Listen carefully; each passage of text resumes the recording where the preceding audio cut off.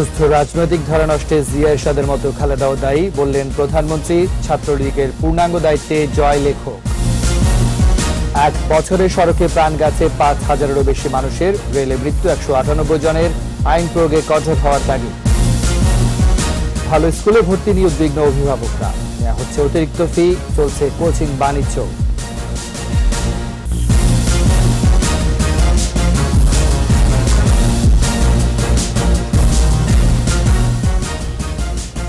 শুনছিলেন First Security Islami Bank Limited সংবাদ শিরোনাম। সবাইকে আমন্ত্রণ জানাচ্ছি রাত নয়টার একুশে সংবাদে। আপনাদের সাথে আছে আমি রাজীব জামান। আর দশক একুশে টেলিভিশনের সংবাদ একই সাথে সরাসরি দেখতে পাবেন আমাদের Facebook page W W W dot Facebook dot com slash Ekushey twenty four অনলাইনে প্রধানমন্ত্রী শেখ হাসিনা বলেছেন, ক্ষমতা ধরে রাখার হাতিয়ার হিসেবে ছাত্রদের ব্যবহার করে জিয়া ইরশাদের দেখানো পথেই খালদা জিয়াও রাজনৈতিক ধারা নষ্ট করেছে। ছাত্রলীগের বাহাত্তরতম প্রতিষ্ঠা বার্ষিকী ও পুনর্মিলনীতে বঙ্গবন্ধুর রাজনৈতিক আদর্শ ছড়িয়ে দিতে ছাত্রলীগকে অতীতের মতো ভূমিকা রাখার আহ্বান জানান তিনি। অনুষ্ঠান থেকে ছাত্রলীগের ভারপ্রাপ্ত সভাপতি ও সাধারণ সম্পাদককে পূর্ণাঙ্গ দায়িত্ব দিয়েছেন বঙ্গবন্ধু কন্যা। রিপোর্টে আরও জানাচ্ছেন আকবর হোসেন সুমন। বাহাত্তরতম প্রতিষ্ঠা বার্ষিকীতে ছাত্রলীগের পুনর্মিলনী অনুষ্ঠানে যোগ দেন আওয়ামী লীগ সভাপতি ও প্রধানমন্ত্রী শেখ হাসিনা। অনুষ্ঠানের উদ্বোধন করেন বঙ্গবন্ধু কন্যা। প্রতিষ্ঠার পর থেকে বিভিন্ন সময় ঐতিহ্যবাহী ছাত্র সংগঠনটির সভাপতি ও সাধারণ সম্পাদকদের উপস্থিতি আলাদা মাত্রা যোগ করে এই আয়োজনে। উচ্ছ্বসিত প্রধানমন্ত্রী তার বক্তব্যে তুলে ধরেন ছাত্রলীগ প্রতিষ্ঠার উদ্দেশ্য ও বঙ্গবন্ধুর অবদান। ছাত্রলীগের একজন কর্মী হিসেবে তাদের আচার আচরণ, তাদের কথাবার্তা, তাদের রাজনীতি সব কিছু সেইভাবেই করা উচিত যেন এই সংগঠনটা একটা মর্যাদাপূর্ণ হয় এবং দেশ ও জাতির কাছে যেন তাদের একটা আস্থা বিশ্বাস অর্জন করে চলতে পারে ছাত্রলীগকে সেইভাবেই চলতে হবে। মেধাবী ছাত্রদের ব্যবহার করে রাজনীতির সুস্থ ধারাকে তৎকালীন ক্ষমতাসীন জিয়াউর রহমান ও হুসেইন মোহাম্মদ এরশাদের পর খালেদা জিয়াও ধ্বংস করে দিয়েছিল বলে মন্তব্য করেন শেখ হাসিনা। আমরা জিয়াউর রহমান বলি এরশাদ বলি এমনকি খালেদা জিয়ার আমল সবসময় আমরা দেখেছি যে তারা এই মেধাবী ছাত্রদেরকে ব্যবহার করেছে। তাদের লাঠিয়াল বাহিনী অস্ত্রধারী সন্ত্রাসী, জঙ্গিবাদ, মাদক মানি লন্ডারিং নানাভাবে তাদেরকে ব্যবহার করা এবং তাদের ক্ষমতাকে কুক্ষিগত করে রাখার একটা হাতিয়ার হিসেবে আগামী নেতৃত্বে বঙ্গবন্ধুর আদর্শ ও নীতির প্রতিফলন দেখতে চান ছাত্রলীগের সাংগঠনিক নেত্রী। আগামী দিনের নেতৃত্ব যেন প্রজন্মের পর প্রজন্ম আসে, আর তা এই আদর্শ ভিত্তিক একটি সংগঠনের মাধ্যমেই, সংগঠনের মধ্য দিয়েই যেন চলে আসে, সেটা ছাত্রলীগকে মনে রাখতে হবে। মনে রাখতে হবে ছাত্রলীগের হাতে আমি কাগজ কলম তুলে দিয়েছিলাম। খালেদা জিয়া অস্ত্র দিয়েছিল আমি দিয়েছিলাম কাগজ কলম। পুনর্মিলনীর অনুষ্ঠান থেকে ছাত্রলীগের ভারপ্রাপ্ত সভাপতি ও সাধারণ সম্পাদককে পূর্ণাঙ্গ দায়িত্ব দেন শেখ হাসিনা। ছাত্রলীগের সভাপতি আর সাধারণ সম্পাদক এখন আর ভার না।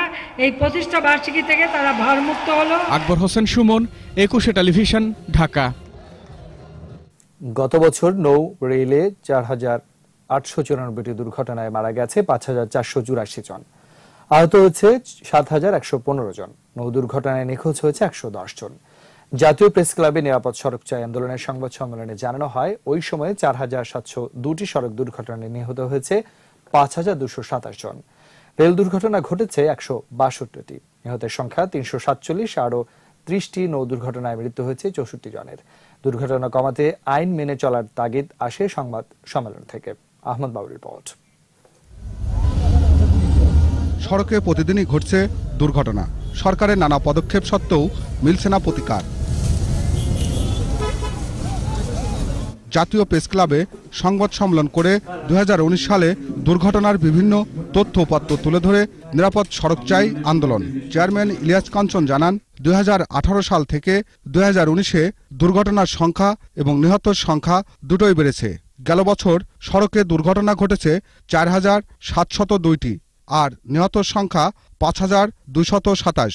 রেল দুর্ঘটনায় মারা যায় একশো আটানব্বই জন আর নৌপথে তিরিশটি দুর্ঘটনায় নিহত সংখ্যা চৌষট্টি এবং নিখোঁজ সংখ্যা একশো দশ জন। সর্বমোট নিহতের টোটাল সংখ্যা হল দুই সালে পাঁচ হাজার দুইশো সাতাশ জন। দুর্ঘটনার সংখ্যা হলো গিয়ে রেলে একশো বাষট্টি, নিহত হয়েছে একশো আটানব্বই জন।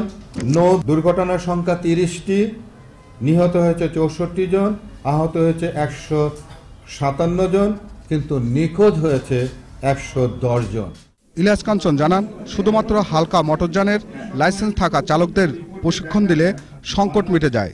মধ্যম এবং হালকা মিলে মোট বারো লক্ষ একত্রিশ হাজার আটশো উনত্রিশ জন অতিরিক্ত চালকদেরকে উপযুক্ত প্রশিক্ষণ প্রদান না করে একটি পক্ষ গাড়ি চালকের কমতি আছে বলে বিভ্রান্তি ছড়াচ্ছে। দুই হাজার আঠারো সালের সড়ক নিরাপত্তা আইনের পূর্ণ বাস্তবায়নের জন্য বেশ কিছু সুপারিশও তুলে ধরা হয় সংবাদ সম্মেলন থেকে। প্রধান সড়কে একমুখী চলাচলের সিদ্ধান্ত নিয়ে দীর্ঘ এবং উচ্চতা সম্পন্ন সড়ক বিভাজন তথা রোড ডিভাইডার এর ব্যবস্থা করতে হবে। বর্তমান আইন জেল জরিমানার জন্য নয় সড়কে শৃঙ্খলা ফিরিয়ে আনার জন্য করা হয়েছে বলে জানান নিরাপদ সড়ক আন্দোলনের চেয়ারম্যান। দুই হাজার আঠারো সালে আইনটি স্থগিত হয় নাই। আহমদ বাবু, একুশে টেলিভিশন, ঢাকা। এবার আমাদের সাপ্তাহিক আয়োজন সোশ্যাল ইসলামী ব্যাংক লিমিটেডের সৌজন্যে একুশের চোখ।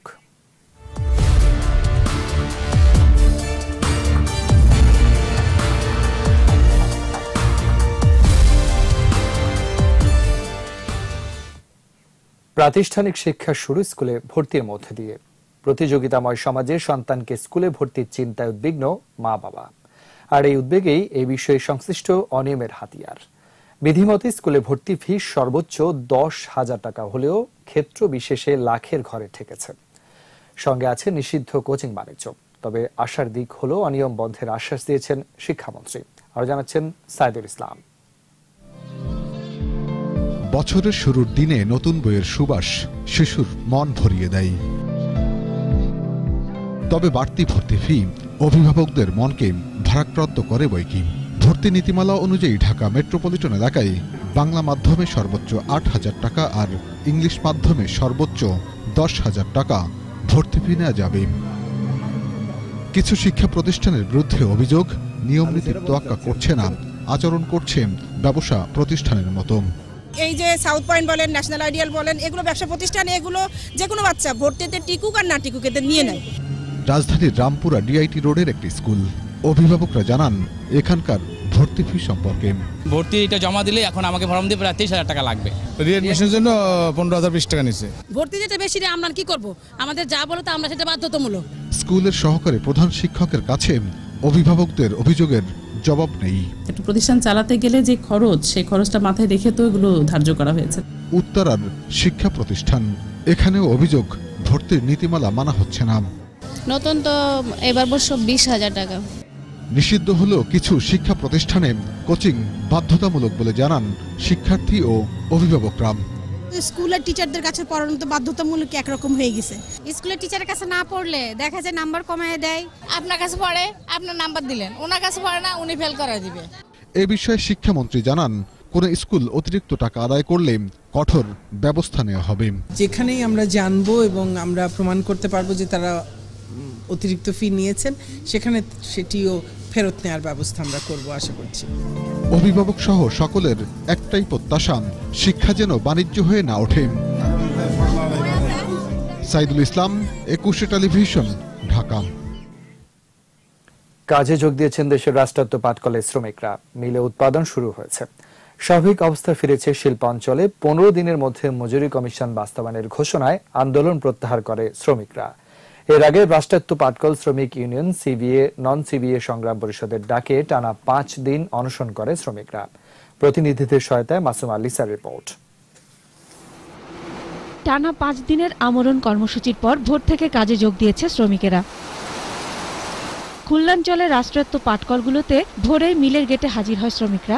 যোগ দেয় কাজে। এক সপ্তাহ পর আবার ঘুরছে রাজশাহীর রাষ্ট্রায়ত্ত পাটকলগুলোর চাকা। শুক্রবার রাত দশটা থেকে আংশিক এবং শনিবার সকাল ছটা থেকে পুরোপুরি মিলগুলো চালু হয়। মজুরি কমিশন বাস্তবায়ন হয়। প্রধানমন্ত্রী শেখ হাসিনাকে ধন্যবাদ জানিয়েছেন শ্রমিকরা। আমাদের জীবনের দাবি ছিল আমাদের ছেলে মেয়ে মানুষ করার একটা দাবি ছিল। সেটা যেহেতু দাবিটা পূরণ করেছে আমরা খুব খুশি।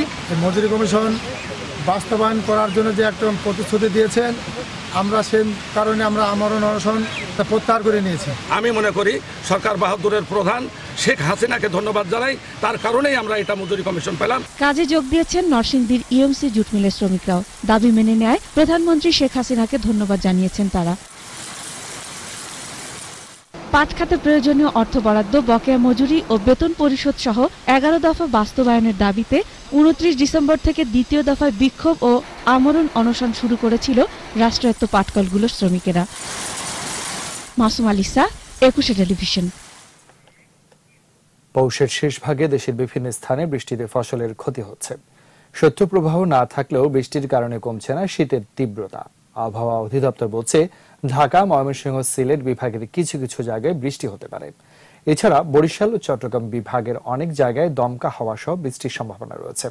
ঝরতে পারে মাঝারি ধরনের কুয়াশাও। এদিকে হাসপাতালগুলোতে বাড়ছে ডায়রিয়া, নিউমোনিয়া সহ ঠান্ডাজনিত রোগীর সংখ্যা। প্রতিনিধিদের সহায়তা মাসুম রিপোর্ট। শীতের পাশাপাশি বৃষ্টিতে সাতক্ষীরার জনজীবন বিপর্যস্ত হয়ে পড়েছে। এদিকে ঠান্ডাজনিত কারণে কোল্ড ডায়রিয়া, নিউমোনিয়া, সর্দি, কাশি সহ বিভিন্ন রোগে আক্রান্ত হচ্ছে। বিশেষ করে শিশু ও বয়স্কদের দুর্ভোগ বেশি বেড়েছে। গত কয়েকদিন বেলা বাড়ার সাথে সাথে কিছু সময়ের জন্য সূর্যের দেখা মিললেও ঘন কুয়াশা আর হিমেল হাওয়ায় বিপর্যস্ত গাইবান্ধার জনজীবন। হাড় কাঁপানো শীতের সাথে বৃষ্টি হয়, জেলার ব্রহ্মপুত্র, তিস্তা ও ঘাঘট নদী বেষ্টিত একশো পঁয়ষট্টিটি চরের ও গ্রামাঞ্চল এবং শহরের মানুষের জীবন বিপর্যস্ত। রংপুর অঞ্চলে তাপমাত্রা বাড়লেও শীত কমেনি, কুয়াশার দাপট অব্যাহত রয়েছে। গুড়ি গুড়ি বৃষ্টিতে শীতানুভূতি বেড়েছে। সিরাজগঞ্জের গত কয়েকদিনে শীত কিছুটা সহনীয় থাকলেও হঠাৎ বৃষ্টিতে আবারও এর মাত্রা বেড়েছে। বিশেষ করে জেলার নয়টি উপজেলার মধ্যে চরাঞ্চলের ছয়টিতে বেড়েছে দুর্ভোগের মাত্রা। বোরো ধান রোপণে সৃষ্টি করছে প্রতিবন্ধকতা। ঠান্ডা মাছ কম জোয়ার না গেলে তো তা বলে যাইটা করে ভাত যাইলা করে ভাত নাই। বৃষ্টিতে একটু ঠান্ডা বেশি হয়েছে। মনে করে হারে অন্তত এক মাসের মধ্যে এর মধ্যে বেলাই দেখা যায় না বেলা দেখাতে কবে? চুয়াডাঙ্গায় হিমেল হাওয়া ও কুয়াশা অব্যাহত রয়েছে। ঘন কুয়াশায় ক্ষতিগ্রস্ত হচ্ছে সরিষা ও বোরো ধানের চারা। বাতাস হাওয়া ঘন কুয়াশা খুব ঠান্ডা। আমাদের কাজ বসছে না আমরা ঠান্ডা শীতের মধ্যে কষ্ট করছি। নাটোরে ঘন কুয়াশায় জনজীবন বিপর্যস্ত হয়ে পড়েছে। দিনেও যানবাহন চলাচল করছে হেডলাইট জ্বালিয়ে। মাসুম আলিসা একুশে টেলিভিশন। এবারে সোশ্যাল ইসলামী ব্যাংক লিমিটেড বাণিজ্য সংবাদ।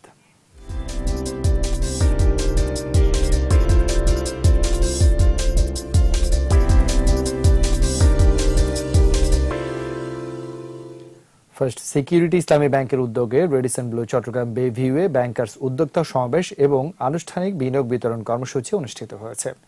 অনুষ্ঠানে উপস্থিত ছিলেন বাংলাদেশ ব্যাংকের গভর্নর ফজলে কবির ও সভাপতিত্ব করেন ফার্স্ট সিকিউরিটি ইসলামী ব্যাংক লিমিটেডের ব্যবস্থাপনা পরিচালক সৈয়দ ওয়াসেক মোহাম্মদ আলী।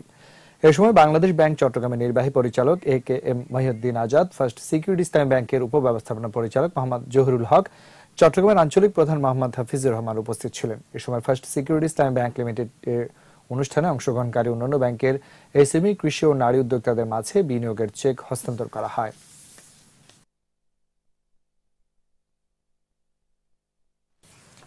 আর এরই সাথে শেষ করছি রাত নয়টার একুশে সংবাদ। যাবার আগে First Security Islami Bank Limited সংবাদ শিরোনামগুলো জানাচ্ছি আরও একবার।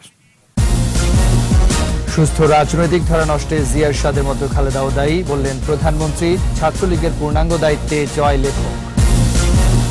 এক বছরে সড়কে প্রাণ গেছে পাঁচ হাজারেরও বেশি মানুষের। রেলে মৃত্যু একশো আটানব্বই জনের। আইন প্রয়োগে কঠোর হওয়ার দাবি। ভালো স্কুলে ভর্তি নিয়ে উদ্বিগ্ন অভিভাবকরা। নেওয়া হচ্ছে অতিরিক্ত ফি, চলছে কোচিং বাণিজ্য।